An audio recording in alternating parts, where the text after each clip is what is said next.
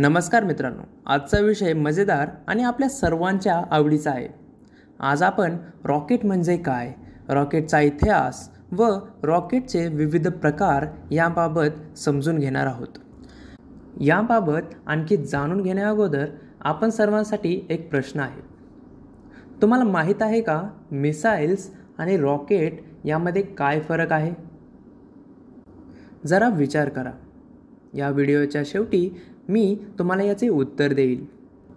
Rocket शब्दाचा अर्थ प्रत्येकासाठी वेगळा असू शकतो. जसे बॅडमिंटन खेळत असताना शक्तिशाली शॉटला रॉकेट शॉट असेही संबोधतात. कधी मूल्य किंवा कामगिरीमध्ये जलद व लक्षणीय वाढ झाली तर वर्णन करताना आपण रॉकेट या शब्दाचा वापर करतो.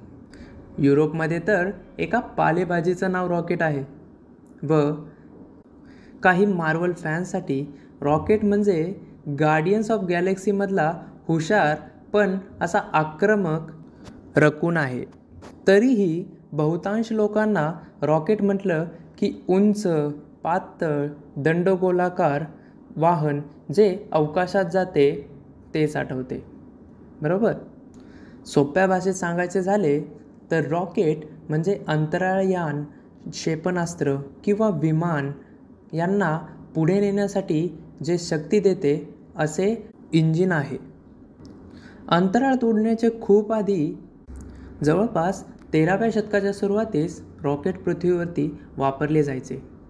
प्रथम ज्ञात रॉकेट हे चीनी लोकांनी बनवले होते जे सुमारे इसवी सन बाराशे बत्तीसमध्ये अग्निबाण म्हणून आक्रमक सैन्यांविरुद्ध लढण्यासाठी वापरले जायचे. हे अग्निबाण गन पावडरने भरलेले फटाके जोडून बनवले गेले. नंतर हे लांब बाणांना जोडले जायचे. सोळाव्या शतकापर्यंत मनोरंजनासाठी रॉकेटचा वापर होत असे.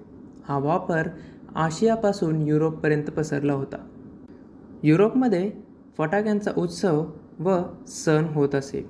येथे फटाक्यांचे प्रदर्शन हे लोकप्रिय होते. पुढील काही दशकांमध्ये शास्त्रज्ञांनी केलेल्या कामगिरीमुळे विशेषतः सर आयझॅक न्यूटनने लावलेल्या गतीच्या नियमामुळे फटाक्यांच्या बनावटीमध्ये संशोधन होऊ लागले व रॉकेटला नियंत्रित करण्याच्या ज्ञानात वाढ होऊ लागली. आणि अठराव्या शतकाच्या अखेरीस जगभरातील लष्करी फौजांनी ह्या नवीन संशोधनाचा वापर युद्धामध्ये त्यांच्या सैन्याची ताकद वाढवण्यासाठी सुरू केला. उदाहरणार्थ सतराशे त्र्याण्णवमध्ये अँग्लो मैसूर युद्धात टिपू सुलतानने ब्रिटिश सैन्याविरुद्ध अग्निबाणाचा वापर केला. पण हे तांत्रिकदृष्ट्या कमकुवत असल्याने युद्धात फारसा फरक पडला नाही. या दरम्यान शास्त्रज्ञांनी पूर्वीचे क्रूड रॉकेटला शक्तिशाली शस्त्रांमध्ये रूपांतर केले. खऱ्या अर्थाने अंतराळ संशोधनामध्ये रॉकेटचा वापर हा विसाव्या शतकाच्या सुरुवातीस सुरू झाला.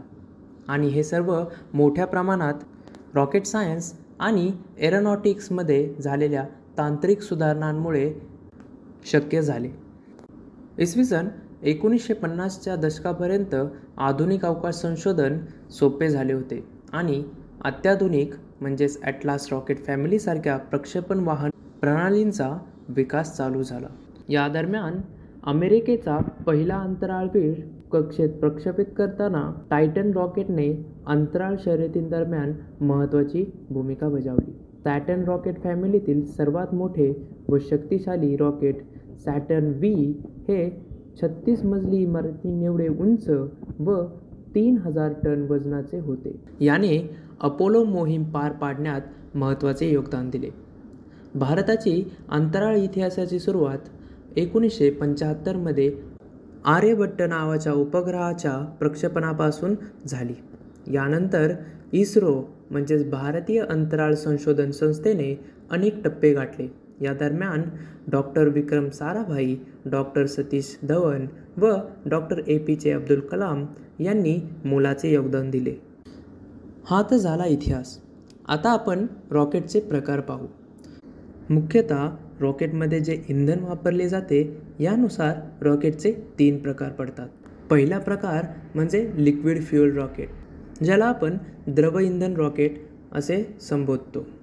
हे रॉकेट द्रवप्रणोदक म्हणजेच लिक्विड प्रोपेलंट वापरतात. विशेषतः लिक्विड प्रोपेलंट आणि ऑक्सिडायझर.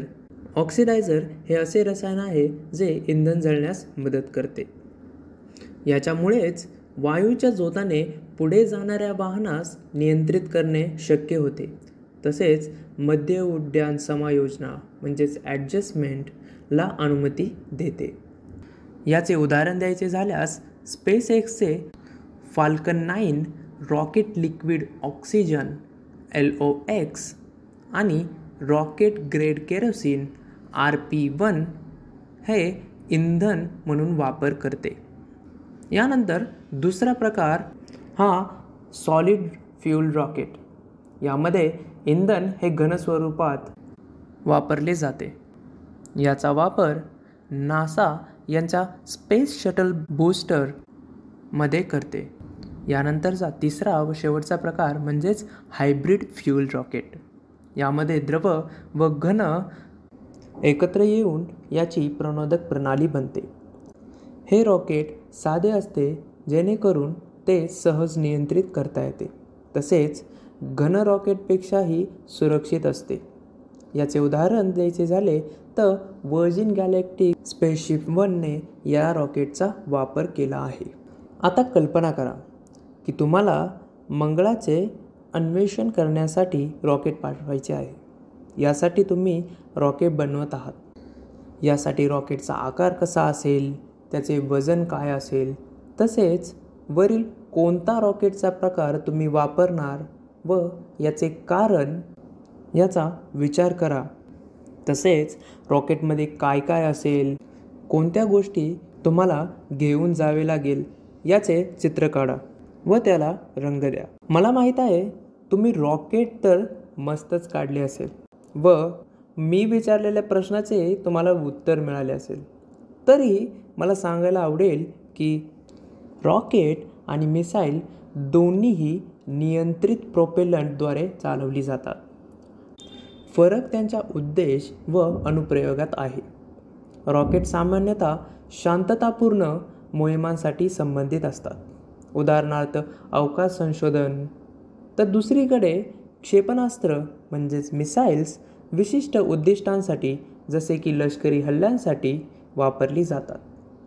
आता हीच माहिती तुम्ही तुमच्या मित्र व तुमच्या पालकांसोबत शेअर करा.